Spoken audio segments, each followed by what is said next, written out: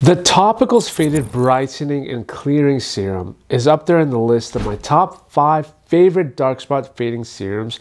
It can be a great option for anyone who battles with hyperpigmentation as a constant concern. It's rarely ever available on shelves and sells out pretty fast. This month alone on Amazon, selling over 10,000 units. In this video, I'll go over what makes this brightening serum so unique, what I like and dislike about it, and how to use it for the best results, so stay with me till the end. Also guys, don't forget to hit the like button and subscribe to my channel for more videos just like this one. And guys, as you can see, I actually purchased this item myself, and this video isn't sponsored, just to be clear. Every once in a while, you guys will ask me a question on what the best product is for melasma and hyperpigmentation, and we talk about many of those ingredients that can be useful. We've covered kojic acid, tranexamic acid, alpha-arbutin, niacinamide, as well as reviewed some of the most popular dark spot correcting serums on the market. Well, I'm here to tell you that this product is loaded with tyrosinase inhibitors, making it perfect for brightening up those stubborn dark spots and restoring your skin's natural pigment. There are about eight different lightening ingredients in here that I'm pleasantly surprised with, which we'll get into, making it great for anyone who doesn't want to use a lengthy skincare routine each with those individual products and ingredients. And in terms of packaging, it has that 2000 style skateboard brand font, which reminds me of the first skateboard I bought. The brand Topicals was actually founded by two young women of color. So I was excited to try formula design with darker skin tones like mine in mind. And I do get the occasional dark spot or sunspot on my face. And I think it's a good idea to have a product like this I can turn to from time to time. But let's go ahead and dive into the ingredients real quick. You get a combination of kojic, azelaic, and tranexamic acids, which is where the product gets most of its fading powers from. On top of that, you get the niacinamide, which fights inflammation and evens out the skin tone. It is also said to brighten dark spots. You get the cica, which calms down the skin and can also brighten the complexion too. The licorice root, which also aids in brightening up the face and fading dark spots and reversing redness. So how many is that right there? Kojic acid, azelaic acid, tranexamic acid, niacinamide, cica, and licorice root. What else am I forgetting?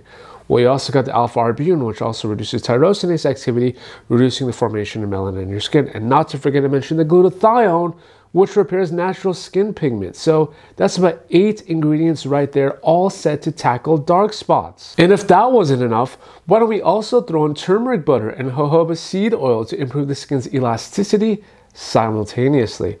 And if you think about it, for about 18 bucks for a fluid ounce, you are getting a good bang for your buck. It's going to be a creamy serum that's both breathable and lightweight. It comes in a tube like this that does a good job in protecting it from oxidation. And the best way to use it is after your cleanser on a dry face or after your toner if you use one. And you really need only a pea-sized amount enough to cover the skin area with a thin layer massaging the end as a spa treatment. Go ahead and start off with using it once or twice a week and gradually increase it to daily use over time. It's also recommended that you don't use the faded serum with AHAs and BHAs or retinol. So if you're using the retinol, make sure it's not at the same time as the serum. Use it at night and then the faded serum during the day. What I will say about what I don't like about the product is the smell. It doesn't contain any fragrances to mask scents, which I like, but with that said, it will smell. The smell actually comes from the glutathione since it contains a cysteine side chain resembling the smell of sulfur. But don't worry, after a while you will get used to the smell of rotten eggs and chicken broth and you'll be fine. This is something to expect with going into it because I know for many they don't like these types of surprises. In fact, after the two hour mark, the smell really doesn't linger longer than just that. And speaking of expectations, you will start to see noticeable results with this anywhere from one to three weeks, which is awesome. With the three week mark being the most common amount of time it takes to see decent results. Usually, the newer dark spots will respond faster to the product than the older spots left from the sun or acne. After you use it, wait about five minutes and then go ahead and seal it all in with your moisturizer. What I will add to this though is make sure that the thin coat you apply actually gets worked into the skin, otherwise it will pill on the face. And since some of the ingredients in here can increase your sensitivity to the sun, go ahead and use a mineral-based broad spectrum sunscreen of SPF 30 or more if you're going out into the sun, which I'll also link for you down below as my affiliate. But overall, I'm more curious to hear from you guys though.